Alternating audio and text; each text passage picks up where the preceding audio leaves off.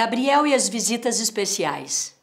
Diana Constança Katsuya e ilustrações de Elisa Freire. Naquela manhã, Gabriel acordou muito animado, saiu da cama sem reclamar e se vestiu sozinho. Sua mãe estranhou tanta disposição logo cedo. É que a professora falou que hoje teremos a visita de duas pessoas muito especiais. Não sei quem são, mas aposto que devem ser os patrulheiros espaciais, explicou Gabriel. Todos da classe acordaram com a mesma disposição. Quando Gabriel chegou na escola, a maior parte de seus amigos já estava lá. O Marcel e o Felipe vieram logo chamá-lo para uma reunião super secreta num canto da sala. Eu acho que são os patrulheiros espaciais, disse Gabriel. Que nada! É o Super-Homem ou o Batman, disse o Felipe. Marcel, que gostava mesmo era de jogos eletrônicos, tinha outra opinião. Tenho certeza que é o Tai ou o Davis dos Digimons.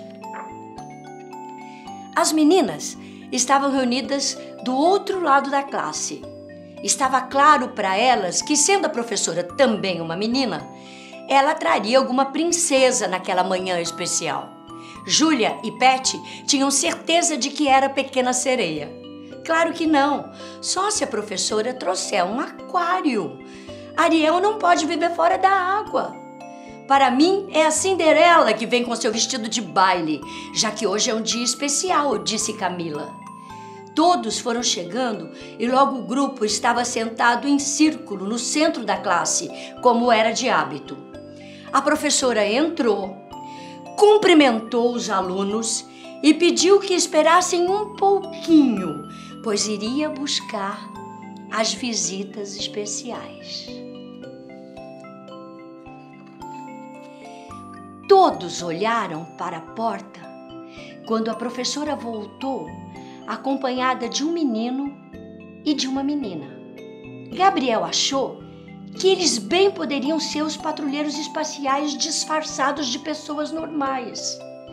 Ficou atento para ver se estavam usando no pulso os morfadores que lhes permitiria transformar-se em super-heróis. Notou que o menino usava um modelo muito legal de relógio que Gabriel nunca tinha visto. O menino visitante também tinha uma bengala dobrável e logo os meninos imaginaram ser uma espada laser. As meninas admiravam a visitante que lembrava mais a Branca de Neve do que a Cinderela. Grandes olhos azuis e o cabelo muito preto. A bela menina trazia um grande livro que parecia conter muitas histórias. A professora fez as apresentações. Estes são a Marina e o Samuel e estão aqui porque são crianças muito especiais. Marina é surda e muda, o que significa que ela não ouve e não consegue falar usando sua voz. O Samuel é cego, o que significa que ele não enxerga. Marina e Samuel vieram nos visitar e contar como, apesar de serem diferentes de nós, gostam das mesmas coisas de que gostamos. Houve um imenso silêncio. Mas logo muitos levantaram o braço porque queriam falar. Gabriel foi o primeiro e, apontando para a bengala de Samuel, perguntou: se você não pode enxergar, como é que você luta com esta espada espacial? Isso não é uma espada, respondeu Samuel, achando a pergunta muito divertida. Isso é a minha bengala. Eu a uso para saber o que vou encontrar pela frente. Quando não preciso dela, eu a dobro e guardo dessa forma. Gabriel achou aquilo sensacional e pediu para tentar abrir e fechar a bengala de Samuel. Não demorou para todos quererem experimentar. Camila perguntou à professora como Marina conseguia conversar com seus pais e com seus amigos. Por que vocês não perguntam a ela? disse a professora. Mas ela não me escuta. Ah, mas você está esquecendo que Marina é uma menina muito especial. Ela é capaz de compreender o que você diz apenas observando o movimento dos seus lábios. E como ela vai responder Logo quis saber Camila. Bem, Marina sabe se expressar através de sinais que faz com as mãos. Tenho certeza de que, se você prestar atenção, irá entender muita coisa. Camila, muito desconfiada, resolveu tentar e perguntou aos gritos: Marina, quantos anos você tem? Todos se assustaram. E a professora logo foi explicando: Camila, não é preciso gritar. Você pode apenas mexer os lábios ou falar muito baixinho. O mais importante é que você deixe Marina observar o movimento dos seus lábios.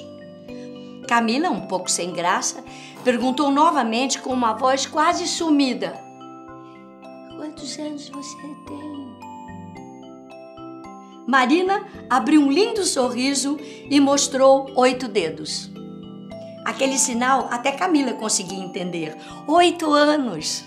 Disse Camila, muito feliz por conseguir se comunicar com Marina. Logo, a classe estava fazendo perguntas a Marina e observando como ela era capaz de compreender o que falavam e como respondia as questões através de sinais que às vezes todos compreendiam e às vezes a professora servia de tradutora. A professora pediu então que todos se sentassem para ouvir uma história contada por Samuel. Gabriel, mais do que depressa, disse: Como o Samuel pode ler uma história para a gente se ele não enxerga? Prometi trazer para vocês pessoas especiais. O Samuel é uma criança muito especial e o seu livro também não é um livro qualquer.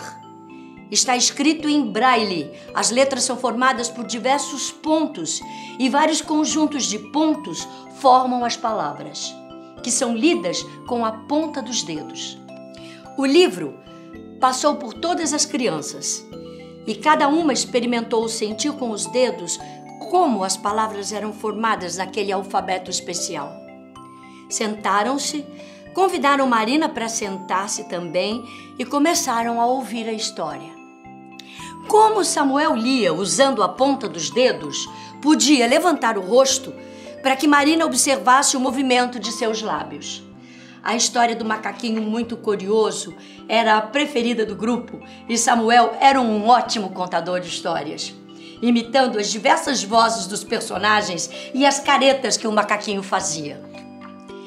Terminada a história, Gabriel, encantado, aproximou-se meio sem jeito de Samuel e tocou levemente em seu relógio, que parecia um morfador dos patrulheiros especiais. Samuel sentiu o toque de Gabriel e disse: Venha cá, você quer ver meu relógio? É um relógio especial. Posso abrir o visor e sentir com os meus dedos a posição dos ponteiros para saber que horas são. Quer usar um pouquinho? Gabriel achou aquele relógio mais legal do que qualquer morfador dos patrulheiros especiais.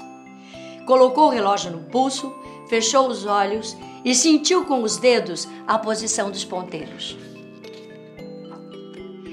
O professor de educação física entrou na sala.